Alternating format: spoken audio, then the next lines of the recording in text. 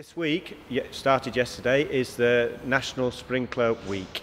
So it's to raise awareness of the use of sprinkler systems within the commercial and the domestic environments. I, I would like uh, sprinkler systems to be going into every new build property as it is in Wales and Scotland, uh, especially the residential properties.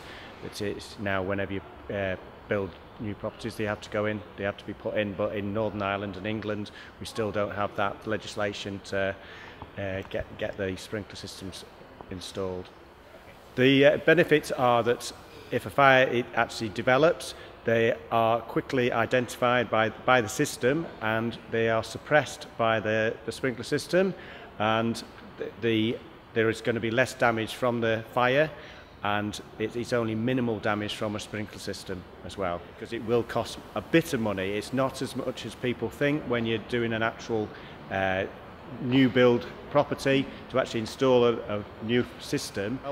So it's going to be of great benefit to a new building and also business continuity. So if you have a fire, the fire is put out and you can be back working within hours rather than it could be in weeks or you go out of business.